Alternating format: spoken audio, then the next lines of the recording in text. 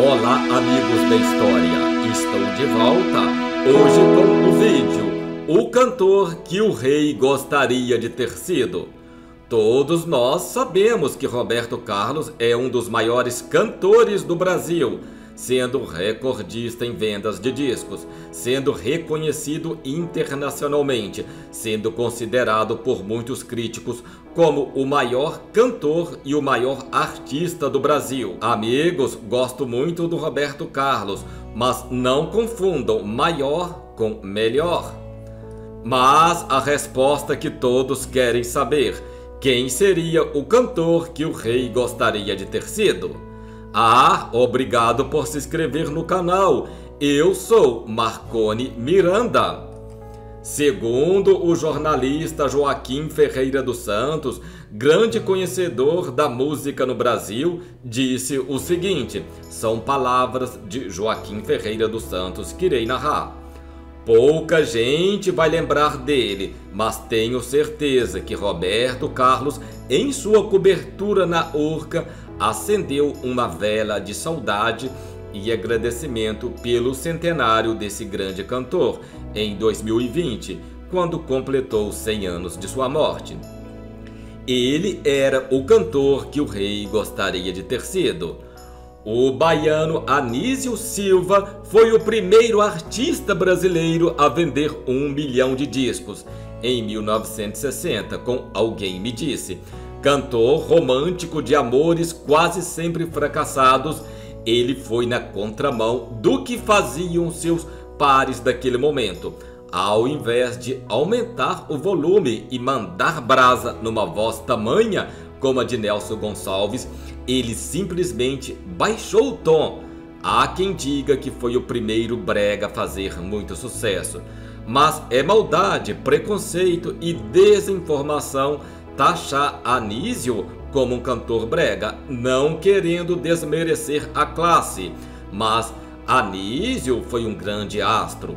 Anísio Silva era um sentimental que misturou bolero com samba canção, uma solução em que cabia toda a parada de sucesso do final dos anos 50.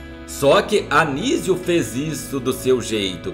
Tinha um charme original, um cantor de massa sem truques popularescos, infelizmente desconhecido nos almanacs intelectuais da música brasileira.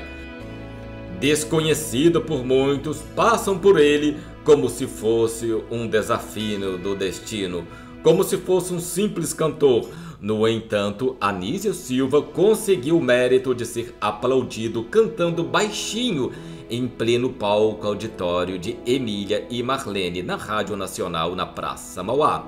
Se Orlando Dias, seu concorrente, rasgava literalmente o paletó nas apresentações, com cuidado de antes puxar o lenço para abafar supostas lágrimas, Anísio sequer se movimentava em cena, nas letras das canções assinada por ele mesmo ou Evaldo Correia e Jair Amorim. Ex-balconista de farmácia na Bahia, andava pela noite carioca desde 1952, mas apareceu para o sucesso apenas em 1958, aos 38 anos de idade. Foi no mesmo momento que João Gilberto, na companhia de artistas da elite carioca, apresentava o sussurro à música brasileira. Porém, Anísio Silva fez algo parecido, porém para o povão. Descrito como uma voz natural, na emissão zero de impostação, cantava como se estivesse próximo de conversar, sem mais aquela exibição marcha do gogó nas alturas, como o ébrio Vicente Celestino. Era diferente também por ser mulato no momento em que o preconceito estrutural da sociedade brasileira deixava a música romântica como gênero exclusivo aos artistas brancos. Infelizmente, né, meus amigos? De resto, seguia único e original, como uma das mais marcantes tradições do canto nacional, a voz embargada de quase choro. Assim também cantava Orlando Silva e Eracide Almeida no início. Mais tarde, Roberto Carlos continuaria cantando do mesmo jeito que Anísio Silva. Porém, é claro, Roberto Carlos seguiu um estilo próprio mais tarde.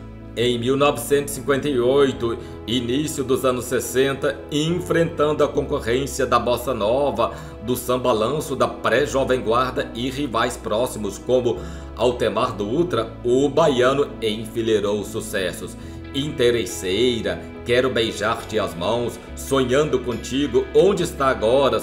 Tu, somente tu, devolva-me, não digo nome, tu foi ilusão, entre outros grandes sucessos. A garotada da bossa nova da Zona Sul estava em cena cantando a felicidade, o barquinho, o chega pra lá na saudade. No subúrbio, os primeiros roqueiros tomavam banho de lua e chamavam de estúpido cupido. No meio disso tudo, Anísio Silva, com a voz carente e anasalada, fazendo sucesso. Mais tarde, o rei seguiria, cantando parecido com Anísio, como disse. Anísio, sem impostar a voz no meio de grandes ídolos, cantando baixinho, fazia muito sucesso. Até o ano de 2020 já tinha comemorado os 90 anos de Dolores Duran, os centenários de Roberto Silva, Lisete Cardoso, com fogos especiais de TV e páginas inteiras nos jornais. É uma pena que, elegantemente melancólico, o Anísio Silva foi simplesmente esquecido. Talvez ele tenha sido lembrado nesse dia do centenário apenas por uma vela no apartamento de Roberto Carlos, que sempre o apontou como ídolo e referência.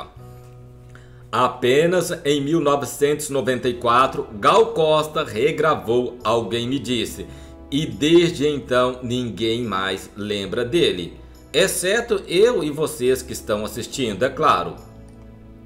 O que aconteceu foi o seguinte: Anísio foi jogado para escanteio por ter aparecido no momento em que a bossa nova estabelecia critérios para a MPB, chamando de mau gosto o que lhe era estranho ao banquinho e ao violão.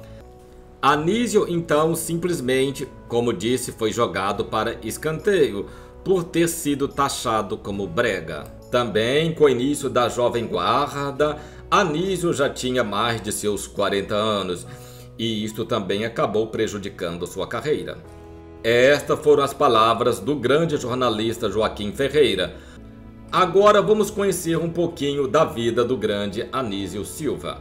Anísio nasceu no dia 29 de julho de 1920, numa fazenda hoje pertencente ao município baiano de Rio do Antônio, na época território da cidade de Calulé. Antes de iniciar carreira artística, foi balconista de farmácia. Anísio Silva iniciou sua carreira em 1952, no Rio de Janeiro, já no estilo romântico. Em 1957, assinou contrato com a gravadora Odeon, na qual viveria a melhor fase de sua carreira. Nesse ano, seu primeiro grande sucesso, Sonhando Contigo, título também de seu primeiro LP. O segundo veio dois anos mais tarde, intitulado Anísio Silvia Canta para Você, da qual se destacou a Guarania, Quero Beijar-te as Mãos de Arsênio de Carvalho e Lorival Faisal. Mas o grande estouro de sua carreira veio em 1960 com o lançamento do disco Alguém Me Disse, quando vendeu mais de 2 milhões de cópias deste disco, tornando-se o primeiro cantor do Brasil a ganhar o disco de ouro. A faixa título Um Bolero de Jair Amorinho e Edivaldo Gouveia tornou-se o maior sucesso da carreira de Anísio. A música foi regravada pela cantora Gal Costa, como disse. Após seu grande sucesso, Anísio Silva voltou a gravar ao longo de sua carreira inúmeras músicas da dupla Jair Amorim e Evaldo Gouveia. Gravou também mais dois LPs pela Odeon, Só Pensa em Ti e Canção do Amor. O último disco do período veio em 1964, intitulado Estou Chorando por Ti. Após esta data, ficou afastado da vida artística por um período de três anos. Em 1967, retornou com o LP Lembrança de Você. Em 1968, foram seus últimos trabalhos pela Odeon, afastando-se novamente para dirigir uma casa noturna de sua propriedade no Rio de Janeiro. Voltou esporadicamente à carreira artística, fazendo alguns trabalhos de vez em quando. Anísio Silva, em sua carreira, vendeu mais de 10 milhões de discos. Mesmo assim, ele foi praticamente esquecido. Anísio morreu no Rio de Janeiro de infarto em seu apartamento no bairro do Flamengo no dia 18 de fevereiro de 1989. Ele foi sepultado no cemitério São João Batista, em Botafogo.